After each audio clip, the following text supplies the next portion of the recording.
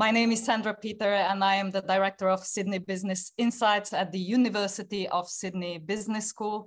And before we begin our event, as always, I would like to acknowledge the traditional owners of Australia and recognize their continuing connection to land, water, and country. Um, today, I'm coming to you from Brisbane, uh, which is called Meanjin by the traditional custodians of country here, um, the Turrbal and the Yagara people. The University of Sydney has many campuses built on Aboriginal country and many of us on this Zoom today are living on land with which the first people of Australia have a connection going back millennia. And since we're talking about big projects um, today, I think it's really worth reflecting on the, a remarkable and really successful project of having over 60,000 years of continuing connection to this uh, country. So as we share our um, knowledge, teaching, learning, and research practices, may we also pay respect to the knowledge embedded forever within the Aboriginal custodianship of this country. Uh, I am delighted to introduce Professor Ben Flyvbjerg to, to our audience. Professor Flyvbjerg is the BT is the first BT professor um, at Oxford University and the VKR professor at the IT University of Copenhagen. He's consulted on over 100 um, uh, projects costing over a billion dollars and has been knighted by the Queen of Denmark. And um, Nobel Prize winning author Danny Kahneman calls his, uh, and Danny's been a guest on our, on our previous webinar, on a few of our previous webinars, but um, Danny uh, uh, calls his work important, timely, instructive, and entertaining. He's not only an economic geographer, but he's probably best known as the world's leading mega project uh, expert. Uh, that's according to, to KPMG. And his latest book uh, is written with Dan Gardner is How Big Things Get Done, uh, which Ben has very generously agreed to discuss with us today. He's joining us from Oxford, so we all very much appreciate that you've stayed up so late to engage with us um, in this discussion. Thank you so much. Um, as we get started, just want to remind everyone watching that you can submit your questions still on Slido using the event code How Big Things Get Done. Um, many questions on Slido already, uh, but before we get going, um, let me welcome Bent again. Thank you for joining us. Thank you, Sandra. Thank you for your generous introduction and, and, and thank you to everybody for being here. It's a pleasure to be here. Um, few hundred people joining us today. Really, really nice. Uh, so let me start by asking a couple of questions before we, we will take quite a few of the audience questions. But Ben, I think the best place to start is with a landmark that uh, will be familiar to many people um, um, on the webinar today. And it's an example that you very often um, talk about, and that's the Sydney Opera House. This is a spectacular landmark, much loved by, by all of us and well recognized um, around the world. So since we're hosting this from the University of Sydney, um, famous um, Danish designed opera house. Let me start with your views on what we can all learn about better project management from the story of the Sydney Opera House. Well, first, let me start by saying that it's one of my favorite buildings uh, in the world, probably the Sydney Opera House and uh, the Guggenheim Museum in Bilbao. They are my two favorite buildings. And I, I, don't think I'm alone in this. There's general consent that they might be the two greatest buildings of the last uh, 100 years. So so that's really something. And um, um, yeah, it's just a magnificent building. I've been there several times, and I always feel uplifted, you know. And I think this is uh, what great art does, you know. No matter what kind of art, it lifts you up. And uh, Sydney Opera House certainly lifts me up when I visit it, and uh, I know many other people have the same experience. Uh, but you know, it's really a story made for a Greek tragedy. What happened with the Sydney Opera House? Unfortunately, I mean, maybe many people um, don't know this or have forgotten this and so on. But it it was a, a disaster, you know, in in terms of execution, and in terms of the career of the architect, which was destroyed. You know, you know. Name me another building uh, that the architect has made. Uh, so uh, and you know there is no other major building by this architect. And to me, uh, that's the and main that's thing. Jørn, Jørn Utzon, who's uh, Utzon, yeah. So was very young you know, when he did this.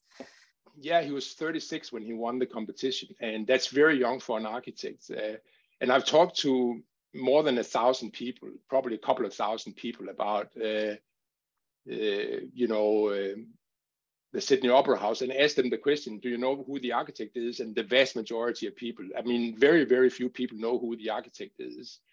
And even if they know, you know, then I ask, okay, second question, uh, can you name me another building by that architect? And of course, nobody can because there are no other buildings except, you know, the, the connoisseurs know there are a few small buildings in uh, Denmark and uh, and also uh, uh, an assembly in Kuwait. And uh, but this is the main thing to learn, you know, is that you can't build things so that you destroy the careers of the architects. That's not okay, you know, to be so inconsiderate in the way you do things. So we need to have better project implementation than that. And um, one hmm. thing to learn from uh, the Sydney Opera House is you can't take 14, 16 years to do a project. It's just way too long. Uh, that's one thing regarding time, you know, that uh, you need to keep it short when you're doing projects. If you want to do something that's successful, it has to be short. Uh, another thing is that you can't start until you know what you're doing, which is what they did with the Sydney Opera House. That they uh, they actually had to dynamite out parts of the opera house, um, you know, while they were building it because they built the wrong thing because they didn't have the final drawings when they started doing the building. Not a good idea to start building before you know what you're building obviously. So that's another thing, you know, that you need to, and we talk about this in the book. We call it think slow, act fast. The Sydney Opera House, they did the exact opposite. They thought fast. They really got, uh, they got going very, very quickly. Uh, because this was a mandate from the government that you have to start building now because they were afraid that the decision might be overturned to build the opera house by a new government. So they wanted to build as much as possible, as quickly as possible, to get to a point of no return, which is quite uh, common, but it's a really bad idea.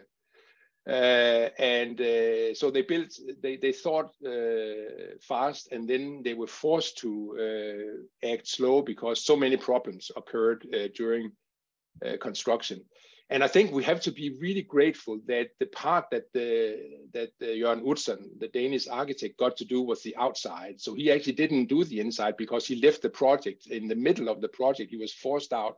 Uh, the New South Wales government simply stopped paying his salary, you know, and uh, and uh, and he went that's back. One to way Denmark. to do it. yeah, that's one way to fire somebody. So uh, so uh, he went back to Denmark, but before he went back, he had actually overseen the design of the shells and putting the shells up. I remember the first time I came to the opera house, I was shocked to walk from the outside to the inside. The inside looked like a 1970s discotheque, you know. And obviously, that wasn't designed by Jørn Utzon. That was designed by some architect, some local architect that took over after he left and basically, that architect destroyed his career by taking over this project by Jørn Utzon. So another architect's career was destroyed by the Sydney Opera House because of the mismanagement of the project. So yeah, I'm I'm I'm delighted that we have this wonderful building, uh, obviously, as anybody should be. But boy, could that have been done differently and much better. But you've you've built one of the biggest databases in terms of uh, mega projects. You've, you've mentioned two very famous ones here: the um, Opera House and um, the Guggenheim Museum.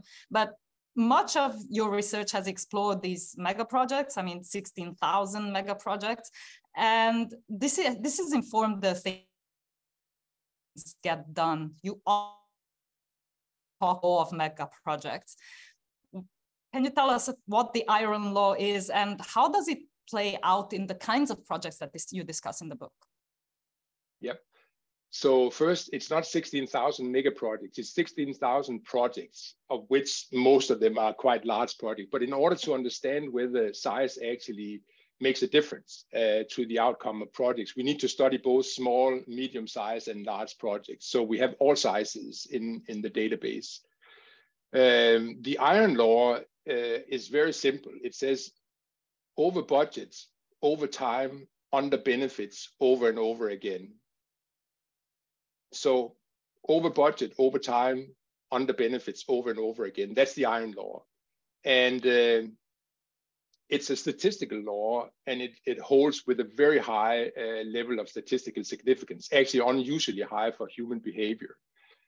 And it means that if you if you're planning on building a project, then you have a very very high likelihoods. The odds are that you will be over budget, that you you will be over so you will you will have to spend more money than you thought. You will take longer than you thought, and you won't deliver the benefits that you thought that's just the odds. It's like going to a casino. These are the, your base rates, you know, and and uh, it's really important to face up to that, especially if you want to change it. Then you know you need to know. It's like if you go, if you play cards, if you're a poker player, you need to know what the odds are if you want to have a chance of winning, right? It's exactly the same here.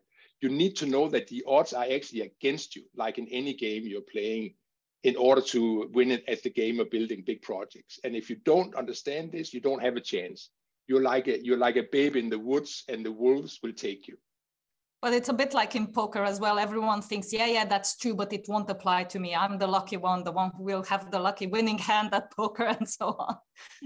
The professional poker players don't think like that but you're right the rookies do. Um, so what factor what factors contribute to to this iron law? What makes the iron law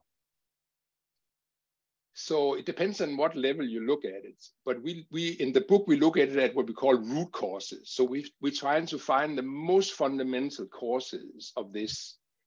And at the root cause level, we find two types of causes. One, are, one is psychology and the other is power.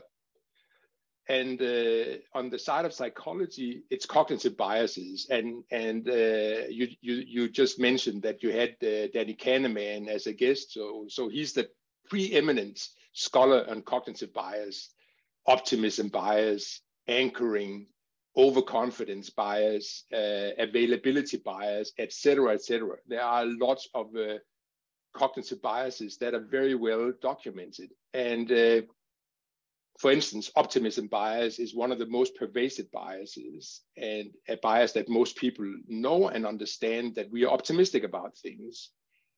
So if you're optimistic about the budget on a project, you think it's going to cost less than it actually costs, right? That's optimism. You think it's going to be cheaper. If that's if that's uh, the way you dealt with you, you planned the project and developed the business case, then just like the law of gravity, your optimism is going, going to boomerang, boomerang around and hit you as a cost overrun, right? If you were optimistic about the budget, you're going to have a cost overrun. Same with the schedule. If you're optimistic about the schedule, you're going to have a schedule overrun. Same with benefits. If you are optimistic about the benefits, you're going to have benefits underrun. So you're going to underdeliver on your benefits. So that's how optimism and other cognitive biases as root causes influence what is happening on projects. That's the psychology side. The power side, we have what we call strategic misrepresentation. And on the power side, things are deliberate. So the psychology side, things are not deliberate. People don't do that consciously. So we are not optimistic consciously. Actually, deliberate optimism is an oxymoron, you know. Mm-hmm. If it's deliberate, if you if you are deliberately optimistic, it's not optimism. Then it's something else. It's probably strategic misrepresentation. And strategic misrepresentation is like you you lowball the project in order to make it look good on paper. So you deliberately, politically, you decide I'm going to make my project look good on paper. How do you do that? Well, that's easy. Anybody can do it. You know, you you you lower the cost, you lowball the cost, as the Americans call it, and you lowball the schedule, and you overestimate the benefits. Then you look really pretty on paper and you have a good chance if you are if you are evaluated uh, assessed against other projects that your project is going to come out on top because you falsely uh, misrepresented uh, the cost the schedule and the benefits and um, strategic misrepresentation power actually works like psychology the di- main, main difference is that one is unconscious and the other is conscious but they both contribute to uh, uh, like for cost, cost underestimation, and then as a consequence, cost overrun.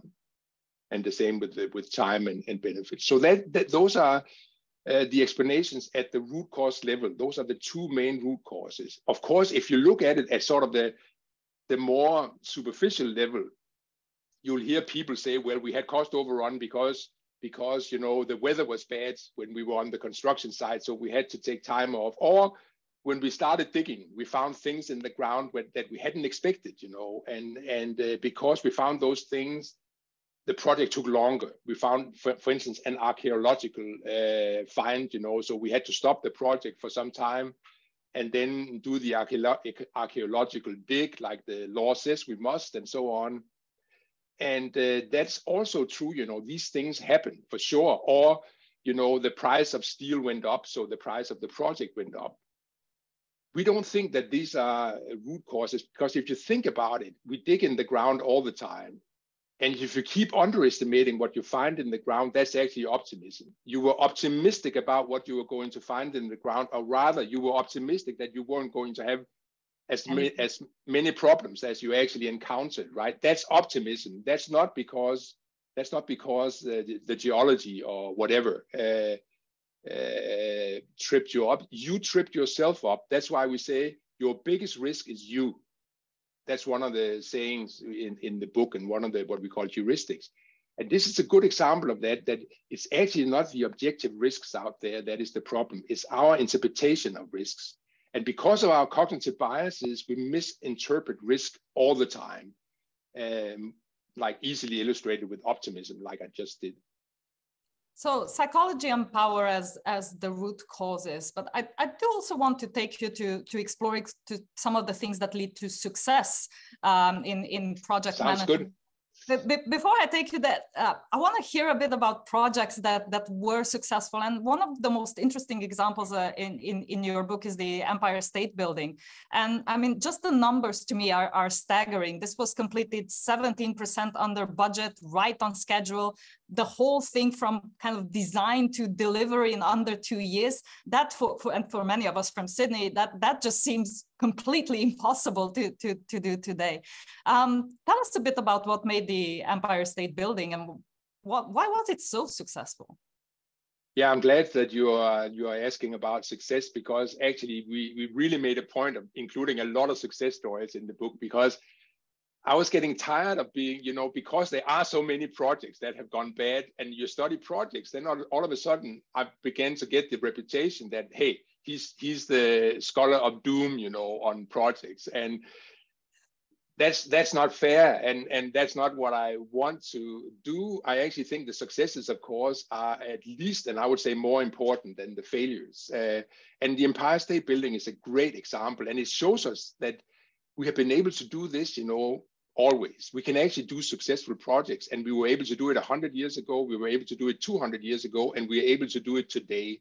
So it's not like we don't know how to do successful projects. It's just that we don't do it. And that's very interesting. Why don't we do it when, when I mean, some people know how to do it? The Empire State Building was as successful as it was because the people who built it really knew what they were doing. Really, really good people. And they, they were thinking slow, not in the sense that they were taking years to think out how to build the project. They actually thought it out within one year.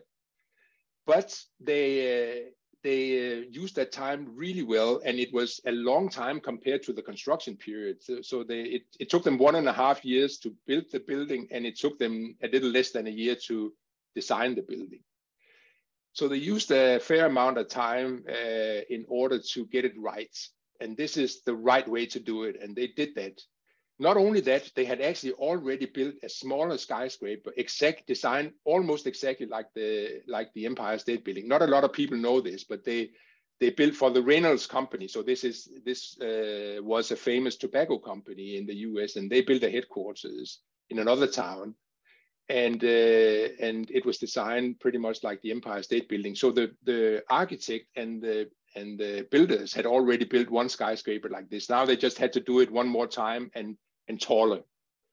So they had experience. That's another thing we emphasize in the book. You need experience. Also, they they, they used a modular design. They had completely designed uh, uh, the building uh, from top to bottom, and they did it in a way where the majority of floors were exactly like other floors. So they actually said, you know, to uh, illustrate what they were doing, we actually did not build a skyscraper. We just built the same floor 100 plus times, and then we stacked them on top of each other. That's why the building is so tall. We did not build a skyscraper. We built one floor many times. So that would mean that they just get better and faster every time they build it again. As, exactly. As this is This is why we emphasize replication in the book. You need to do things in a way where you replicate something over and over, because when you do that, you get what we call positive learning curves. It means that you get better and better. You get faster and you get cheaper at what you're doing. And that's exactly what happened on the Empire State Building. They actually built, you know, uh, more than one floor a week, uh, uh and uh, you know, substantially more when they really hit their stride. So in the beginning, it was a bit slower, but then they got better and better as they replicated these floors, and they and they they they got up to a level of where they were building several floors per week, and then they tapered off again towards the top. So, Empire State Building really great success story. One of the other really interesting examples in your book is Heathrow uh, Airport's Terminal 5. And I, I think everyone's kind of familiar with what disasters airport projects normally normally are. They're, they're very complex, they're very difficult to deliver. And you might expect from something like Heathrow to, to for this to be a, a complete disaster. Um, however, this wasn't really the case with, with Terminal 5. And you know that, that was quite a successful project. And i think since um, sydney is uh, currently you know planning to to build its second long overdue airport it's worth having a conversation about um, heathrow's uh, terminal 5 what what made that successful? So um, basically the owner which was uh, baa uh, at the time that owned the airport and other airports in the uk decided that uh, we can't build an airport the way airports are normally built. The first thing they did actually, again using thinking slow, act fast, during their thinking slow period, they went out and studied other airports. And they came to the conclusion after having studied other airports that if they built this airport the way other airports are built, they were going to go 1 billion pounds over budget and they were going to go like one and a half years over schedule or whatever. That's not the exact number, but something like that. And uh, and they decided we're not going to do that for a very simple reason. We can't afford it. You know our company will go bankrupt if we do it like that. Uh, so we need to find another way. And the other way was uh, for baa to take on the risk of building uh, terminal 5 so instead of trying as you usually do writing contracts where the risk is allocated to the builders they said no we're not going to do that. We are going to use a partnership model where we as the owner we keep the risk and then we are partnering with the builders and uh, with just one goal and that is to deliver this airport to the budgets and to the schedule and to the high quality that we have stipulated in the design. And uh, they succeeded in this and, and what they got from their partnering model was that they avoided all the conflicts that you typically find on a construction site where immediately i mean not sometimes even before you've even started construction, people are suing each other. You know, no, no, this is not my risk. This is your risk. Because if I have to take the risk, then you know that's going to cost me money, and I don't want that because I want to make money on this project. So this is actually your risk, and and and and then the other party says, no, no, no, it's your risk, and then you have a conflict immediately, and you need mediation as a minimum, and sometimes it actually uh, turns into real uh, uh, full-out conflict. It's very common that's why you know people often talk about uh, the the construction industry as a very antagonistic industry where people are suing each other right and left you know because they're really afraid of uh, uh, the cost of all the risks that they're taking on for good reason because these risks can kill you. So that's that's the if I, if I have to point out just one thing that's the main thing. But there are lots of other things you know like a real uh, there was a real team building spirit on the on the on the in the leadership and and the whole team in, in actually actually from the top to the floor in the whole organization. Uh, everybody felt like a team and this is something that the leadership did everything to cultivate uh, to get take good care of the people who worked on the site to make sure that things were safe and so on.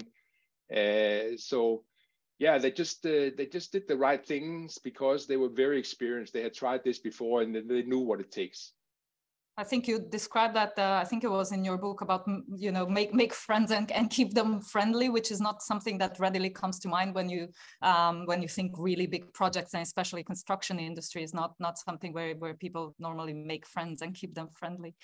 Um, yeah, exactly. you've uh, you've mentioned a number of times, and before we go to, um, I'll move to audience questions very shortly. But um, before we get there, uh, you mentioned a few times the um, think slow, act fast, and I wanna I wanna uh, I want you to reflect a little bit of, of, on that because you you often return to this um, example from from Pixar uh, in in your book. Um, can you talk a bit about their kind of planning process and what the type of work that goes into their projects from where the kind of think fast, act slow, act slow comes from?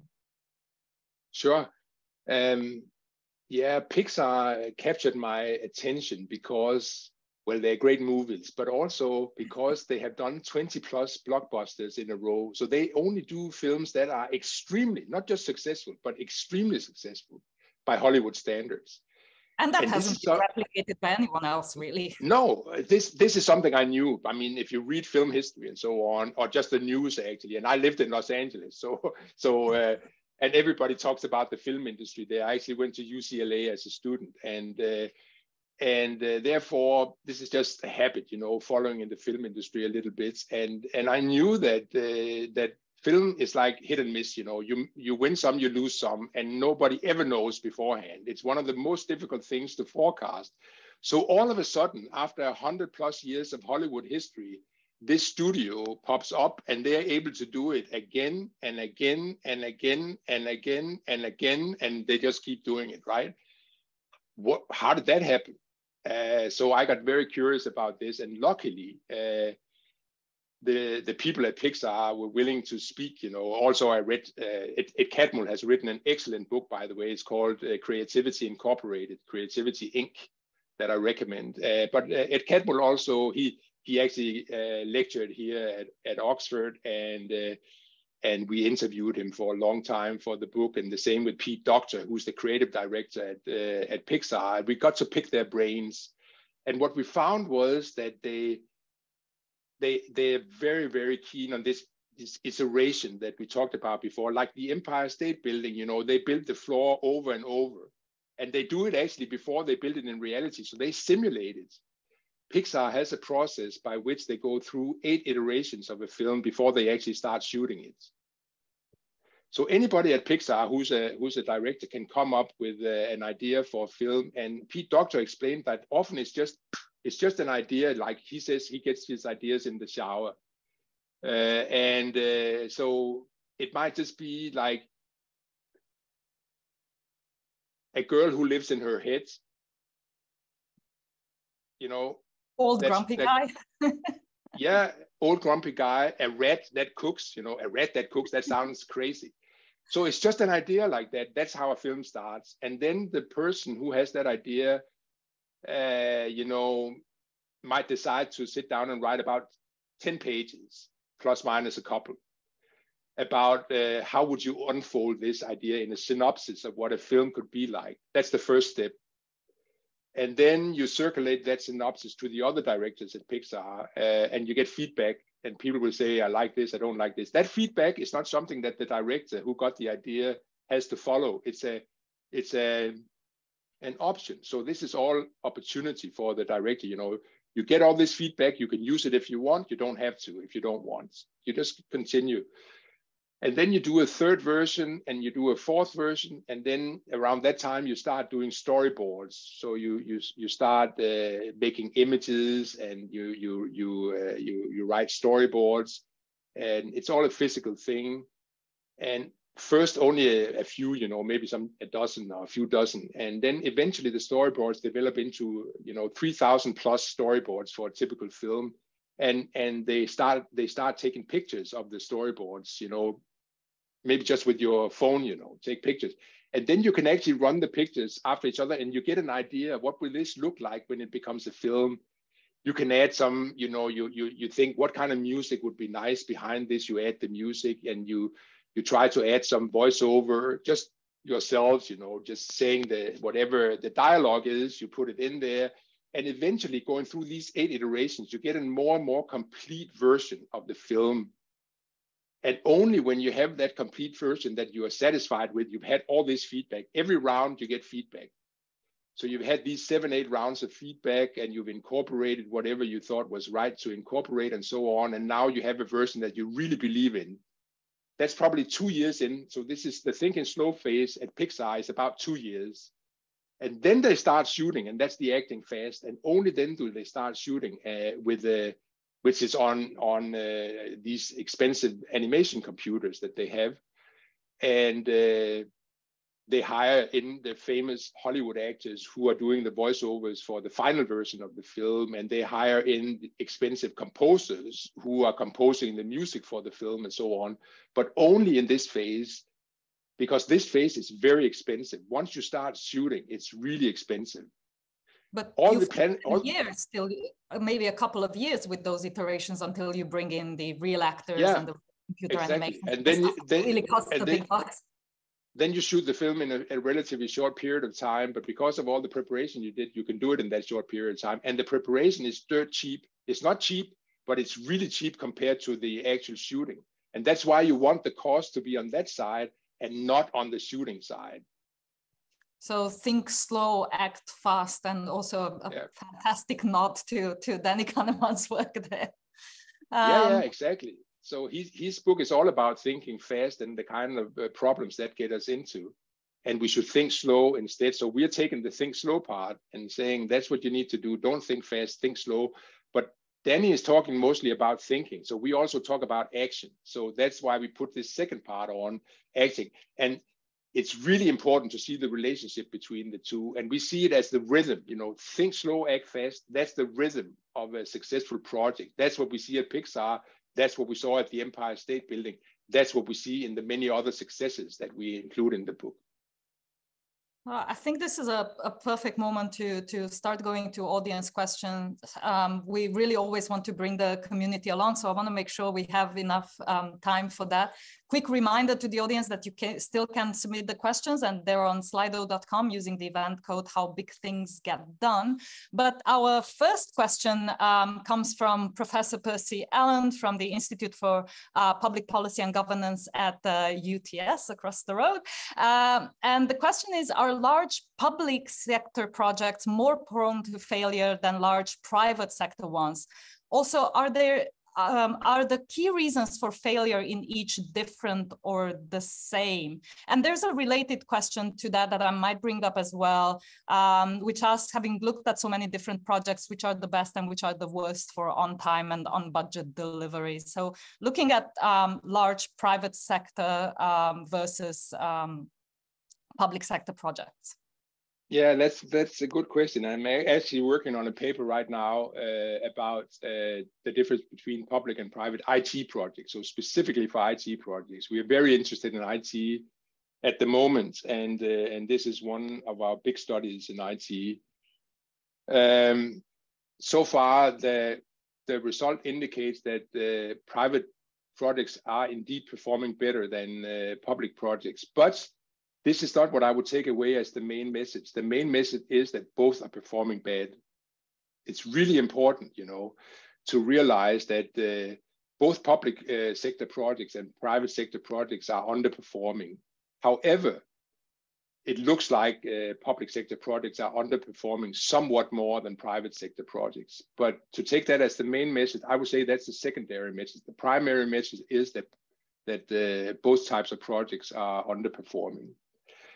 Second question was what are the reasons for that? Uh, we actually don't know, and nobody knows. Nobody has studied this in uh, in uh, in at a level where you, in scholarly terms, can say that we now know what the reasons are uh, for this difference. We can speculate. I mean, in a way, if you go back to neoclassical economic theory, it's already there, uh, where you know it's the public sector is there to, to do projects that the private sector will not do because they are too risky, you know, or there, there's not enough uh, profit in them, but they still need to be done for society. So maybe maybe the public sector is taking on uh, such projects, and maybe such projects are more difficult and more complex and and more risky than the private sector projects, and that alone would explain would explain this. But this is theory, but it's it's a very I mean, very central economic theory that you'll that you will find in economics 101. You know, if you study economics, Uh, uh, but I, I haven't seen any study of projects that actually document that, that theory, you know, without reasonable doubt documents that, that this is the theory that explains the difference. And I don't know that uh, I don't know studies that have this theory or any other theory that explains it. So I think that's the state of the art regarding reasons. Uh, but we are we are doing research on this, and we are going to be studying more project types uh, for this difference, uh, including uh, transport infrastructure. Third question was uh, what are the best and what are the worst projects? So there's there's there's there's a table as an appendix in the in the book where you can see this and uh, and you will see that the worst performing projects are uh, the stories of nuclear waste is the worst performing project. The Olympic Games, and I understand that Brisbane uh, has decided to host the Olympic Games. I'm saying good luck. Look at the book, read about uh, how the Olympics are performing, and then figure out how you can do it differently uh, and show the world that the Olympics can be delivered on budget. On time is not a problem for the Olympics, obviously, because you don't get to mess with the opening dates. But on budget is a real problem. Actually, we have data going back to 1960. Not a single Olympics has been on budget. So Brisbane has a huge opportunity here. And I'm encouraging Brisbane, take this opportunity, become world famous by being the first city that actually delivers the, the Olympics on budget. And I promise you, you'll be in my next book if you do that. Well, I am nuclear power, and we have people from Brisbane yeah. on the call, so. Yeah. Okay, so maybe we can have a little fun, little bit of fun with this question. Nuclear power is bad. IT is bad. I already mentioned that. Hydroelectric dams. So this is the very bad end of the project uh, of uh, of performance. Uh, these are the worst performing projects. At the other end, you have the best performing projects are actually solar farms. So solar farms, because they are the most repetitive project. If you think about it, it's a it's a solar cell put on a panel and you put the panels in an array, you have many arrays, you have a farm, a solar farm. And, uh, and solar farms are the best performing type of mega project. You can build you can build a billion dollar uh, solar farm really fast, really easy, and uh, you can keep it on on budget. Next uh, best performing is uh, wind power, and uh, third best performing is conventional power plants, so oil and and and, and gas and, and coal. And uh, then energy transmission uh, is also uh, very well performing. And those are those are the four top performers at the good end of the curve. And then you, we have like 20 projects in between you know that are that are like rail projects and, and skyscrapers and so on uh, that are in on the middle ground. And the middle ground is still you know like buildings have a 60% cost overrun on average that's the middle ground. And when we talk about the others, we're talking about very, very high uh, cost overruns. So let me let me then ask you about an, another kind of mega project because we've also had a very um, interesting question around something that's quite current in Australia.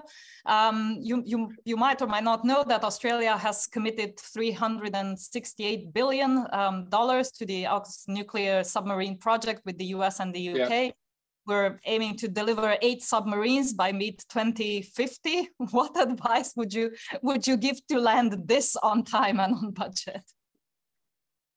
Well defense is actually one of the bad sectors also. Uh, it's not quite as bad as the olympics but it's pretty bad. Uh, so again i would say read the book you know basically. You need to follow the principles in the book uh, if you want to be able to succeed with something like that and like I said, defense projects are notoriously underperforming. Uh, there's something about defense and the defense industry that, uh, you know, they have a bunch of bad habits, let's put it that way, and they keep being allowed to reproduce the bad habits. Maybe in a sense because they are more protected than others, other parts of, uh, you know, project delivery. That it's uh, it's government and it's uh, it's it's it's very high priority, and many projects are one-off, or you only do a few of them, and so on. So they may be a bit of a different type of animal. In my mind, that doesn't mean that you shouldn't be able to deliver them in an efficient manner. Um, before we, we get to, to kind of our final questions, I do want to bring up a, few issues that seem to transpire through some of the questions that, that we have, which is um, lessons for kind of startups and, and, and innovators or, or um, people who have very unique projects where this idea of, of experience or having repeated something that you've done before does might, might not quite um, uh, be as useful. So how, how can we think about startups and, and innovators and also about breaking kind of no. new projects? Yeah, no, but but this is exactly what startups do, you know, that they do minimum viable products, right? And then they they just ship it and then they see what happens and then they do it again, they ship it and see what happens, they do it again. So this is repetition. And we, we also cover this in the book. So we actually don't see any difference between the way you do a small startup and the way you successfully and the way you do a big project successfully the main difference is that you have to be extremely careful if you are doing something uh, that is not reversible or that is unsafe somehow. So obviously you can you could not build the Empire State Building as a minimum viable product and then say, you know, if we don't like it, we just take it down again and build another one. That doesn't work for some projects. So that's an irreversible decision. So uh, that needs to be treated differently from something that's reversible. So reversible decisions, it's very easy to experiment with and actually do the replication, and and and and don't worry too much about uh, how good your product is uh, uh because you can always uh, reverse the decision.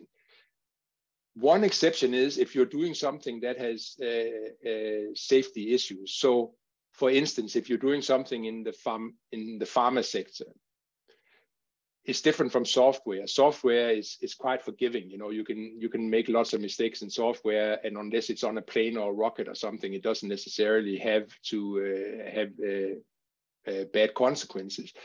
If you're doing a medicine, you can't experiment like that. You can't just ship the medicine, see how it does, and then if it if people die, then you just make a better version of the medicine. You know? It's no good.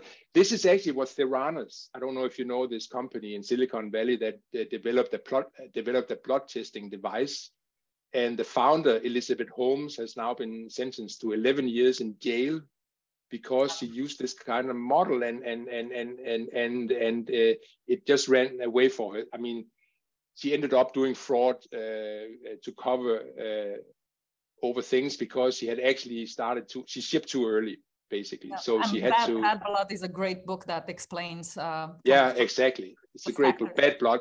Bad Blood. The book is. It's right here on the shelf behind me, and uh, um, yeah, so that's not a good idea to use that model in something like that if you're doing something that is related to medicine and and uh, and and health, or something that is related to safety, where safety is a real issue. But other than that, you know, you can you can do it.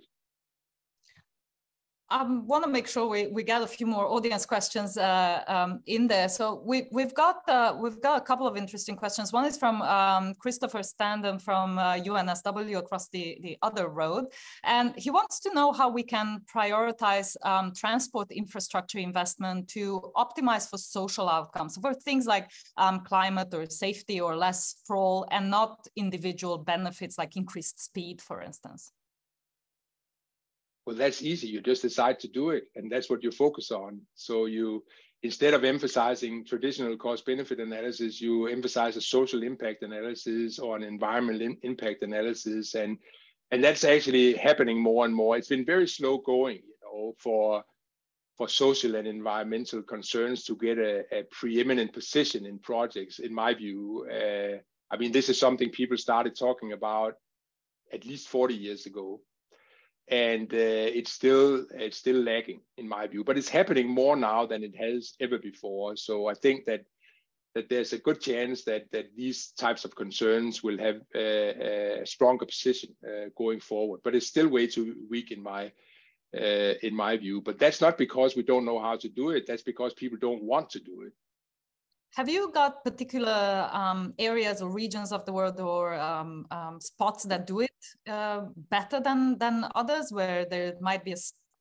an ecosystem or, or, kind of cultural um, influences that make it um, more prominent? So when you say it's, what is it's here that make uh, what better? Success projects that that prioritize social outcomes. So any project. Social been particularly good at, at uh, prioritizing climate or, or, or safety or less urban sprawl um, rather but than... you'll just have to go to the most socially advanced nation so that would be the netherlands that would be denmark where i'm from.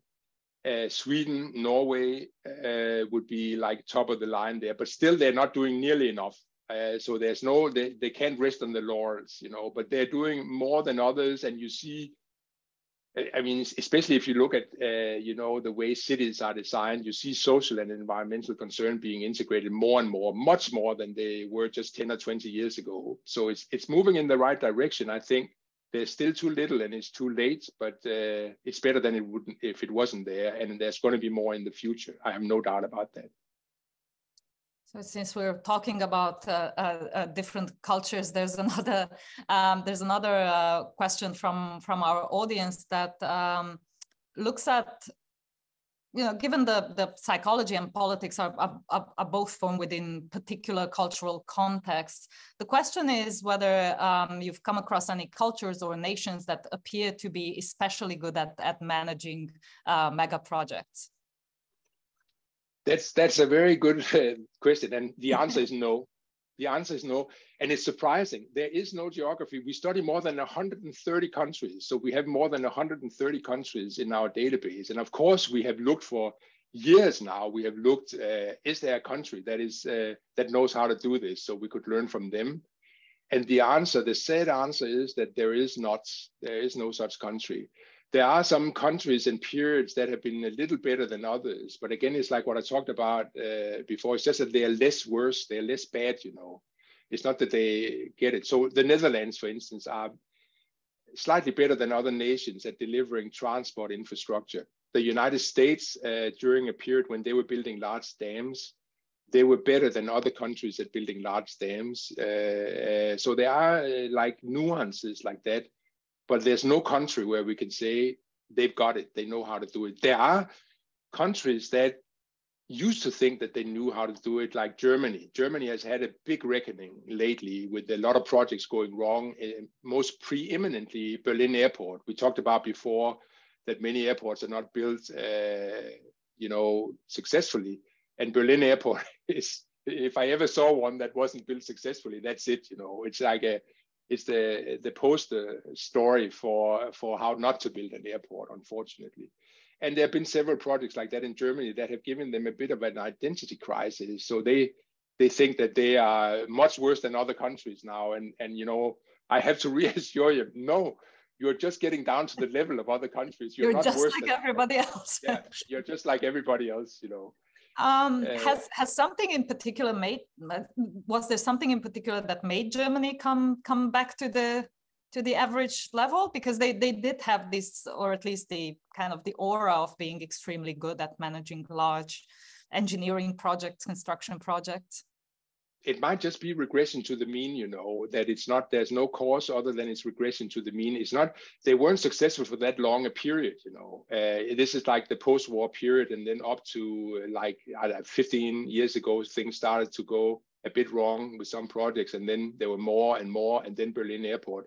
And now there's the whole issue with the car industry. That's actually traumatizing for the Germans. Their, their whole engineering tradition is, uh, is, uh, maybe it's too strong to say called into question because it's there, you know, and they're eminent, preeminent uh, engineers. But now there's a paradigm shift going from uh, from uh, petrol cars to electric vehicles, right? And the question is, will they be able to actually uh, uh, will they be able to do that? So it looks like like they they they are doing it now, but the verdict is still out. I think, and I think that they think it's a bit That's of an identity, identity, crisis there. Um, yeah. um, I'm gonna ask a question that I, I, think is on, on the minds of a, of a few people, and that has to do with with with agile and going back a bit to to IT projects and the way in which agile is practiced more than um, the way it's uh, you know the, the, way it's taught or, or discussed, but in the way that it's practiced, there's a lot of over optimism there. Um, it's quite costly, and that there seems to be this permanent rush to um, um develop and and deliver things before they are they are tested. Um, some of it not keeping with uh, with with what agile really tries tries to achieve. So, what are your thoughts on on on agile? so we actually studied agile um, a little bit, just like a small study, and we want to do more. But the study that we did shows that agile is only performing better than other products on one thing, and that is time boxing. So they are actually better at, at, at keeping their schedule than others, which is not so surprising because that's the whole point of agile, right? Is is to time box things and then then uh, uh, deliver within the time period that was set up. But they are not better on, on cost overruns and benefit shortfalls uh, according to the small it's a, I mean to be clear this is a preliminary study. It's not like a, a, big final study. But we thought this was so interesting that we would do a small preliminary study uh, because everybody's talking about agile. I think personally that agile is is a good idea uh, because it has this uh, element of replication you're not replicating the same thing but you are replicating nevertheless and you are you are using what you're learning uh, uh, during a short period of time uh, or during a short cycle during the next cycle. And I think that that that that's the right kind of thinking. That where you have a an accumulative process where you are uh, building experience. And in what we see and what we study is that it's only by building this experience that you can get the positive learning curves, which are crucial. I, I would actually say any project that doesn't have positive learning curves, don't do it. Walk away from it. Don't touch it. It's not worth it. And that's whether you are working on a project team or whether you are, let's say, a government or a big corporation that are doing projects. You just don't want to do those projects because they are going to drain your resources and not be very successful. Make sure there are positive learning curves. Only if a project has positive learning curves, do it.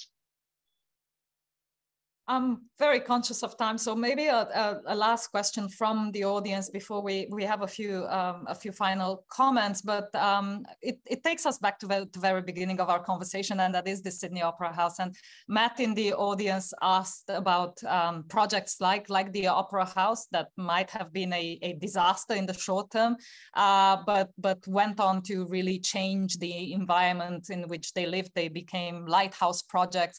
How how do we account for for for this success or this value of, of something when when we think about mega projects? So this this actually happens. I mean and i'm very happy that it happens and i'm very happy that it happened with the sydney opera house. Just imagine that that the the whole uh, story after it was completed was as bad as the story before it was completed you know? That would be like unbearable. I mean if you didn't have the benefits. And and clearly even though, I mean, the cost overrun on the Sydney Opera House was mind blowing, much larger than the Olympics, 1,400%, right? And there was a 10 year delay uh, on the on the project. So, so very bad. But those big costs, it doesn't matter. The, the, the, clearly, the Sydney Opera House has made much more money for Sydney and for New South Wales and for Australia uh, than than it costs to build it. It's it's a treasure also in that uh, in, in in that sense. Um, so there are projects like that. We have other examples like that in the book actually. That uh, that uh, you know it was a bit of a hit or miss at the outset, but it actually turned out that it, it became a real success, and there's no question that the benefits after uh, justify the cost upfront. In the Sydney Opera House, I have the problem that my my fellow country person and fellow colleague at the university I used to work at in Denmark, Aalborg University, where he was a, a professor also. Uh, his career was destroyed and he had to be a professor instead of an architect, you know, that were actually out there building buildings. And he was even a teaching assistant in Hawaii for years, you know, because he could not get a job after he was fired from the Sydney Opera House. It is not okay. That's all I'm saying. And I'm I know this is not going to be a popular message in Australia and in Sydney, but hey, there you have it we can always learn to do to do better. Um, I, I, have to be, be, before we go to closing remarks. I have to remind people that um, they can get uh, how big things get done, which is uh, your your latest book online and with Gleebooks, who is um, also a partner for for our event. Um, and I have to thank everyone who submitted questions. There are so so many more than uh, than we managed to get to. Um, but if you've enjoyed this conversation around the way we think about big projects, you might uh, um, about changing your mind about how you think about big projects or previously um, about thinking with, with Danny Kahneman, you might um, uh, be interested in our um, Unlearn project, which is our new podcast series about changing your mind and about changing common sense. You know why robots are coming to make your job harder or what music is for or why small is the new big. Um, and you can subscribe to the Unlearn projects wherever you get your good podcasts. But Bent provided us some fantastic insights into managing big projects, including what factors that make them work and make them successful, you know, choosing um, experience, choosing the right theme, thinking slow and act, acting fast. Um, so much more insights in the book, including you know 11 heuristics for how to do better project leadership. So I, I really do recommend you, you you grab a copy. Bent, it's been such a pleasure to have you. I hope the next one we do is is in person. We said that to Danny a few times, but uh, COVID happened and all things happened. But we hope the next yeah. one is um, is in Sydney. And I'd be remiss not to give a very big thank you to the Sydney Business Insights team and the broader University of Sydney team, and especially Pat Norman, who is also one of your biggest fan, fans. And um, thank you all for spending so much time with us today. And thank you for spending your evening with us. Um, thank you, the audience, for all the questions.